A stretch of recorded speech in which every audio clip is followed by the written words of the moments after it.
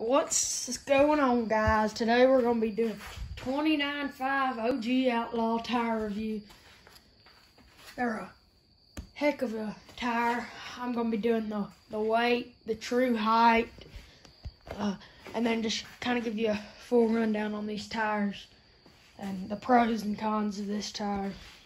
So let's get straight to it with the true height. Okay, so there they are up against a 28 inch Mega Mayhem. They have no air in them, the OGs, and they, they're way taller. So let's set this ruler on top there so we get the highest point. And get this tape measure out. Where's the place I can prop up the camera at? Oh, that ain't gonna work, is it?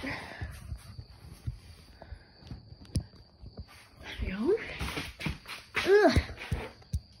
Not fail. I to place prop up his camera.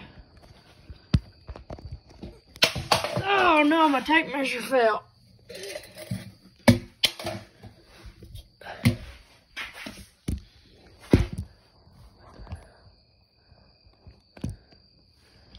Well, hang on, I'll figure out a way to prop this up. One second. Alright, can't figure out a way to prop it up. I'm just going to try and do this one-handed. Grab the tape measure. Yeah. So stick that right there on the ground. Bring it right up and it it's going to be right at 29 and a half inches. I mean, it is basically a true 25 29 5 inch tire. It, it's gonna be that because it's real. It's really gonna be about 30 because it's a 29 5 with no air in it. And once I get air in them things, they'll air up another half inch or so. So, so your true height's gonna be, let's call it 30 inches. Uh, now let's move on to the weight, which this part's gonna be kind of tricky. All right, I gotta weigh real quick, see how much I weigh with the full dressed and everything. Then, uh, hang on, I might be able to do this with just the tire. Ugh. Oh, my phone. Let me just roll this thing over here onto the scale.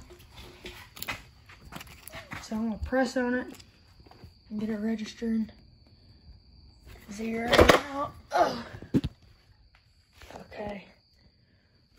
47 0.2 pounds. That's how much these 29 fives is that.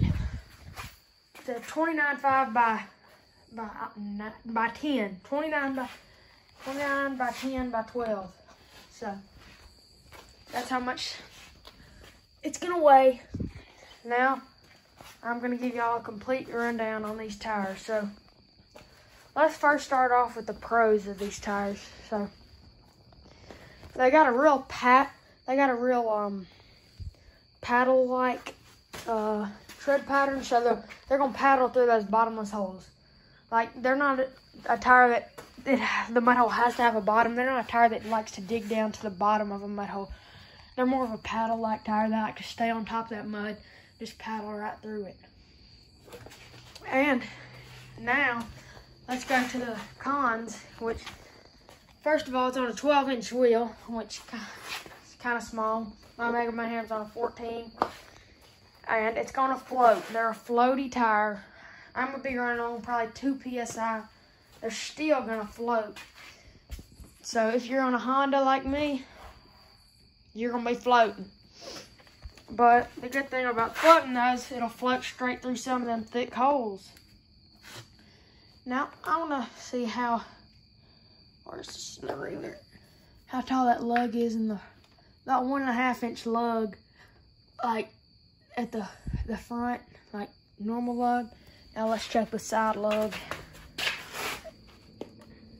About one and a half inches also, guys. So have one and a half inch top lug, one and a half inch side lug. That's another thing. These sidewalls, look at that. I mean, they'll really grab onto the side of them ruts and it's it's it's will go almost anywhere you want it to, these tires. But where you are gonna find these tires fail at, what I've seen so far, sandy holes that like, um, like clay, these are really good in thick clay.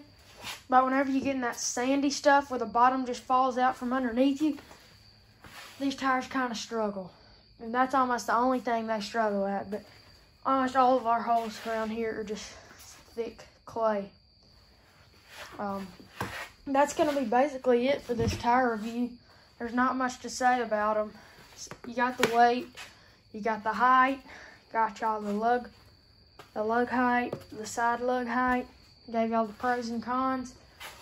Would I recommend this tire? Of course. I mean, you can't go wrong with the OG Outlaw, no matter if you're driving a Can-Am or a Honda.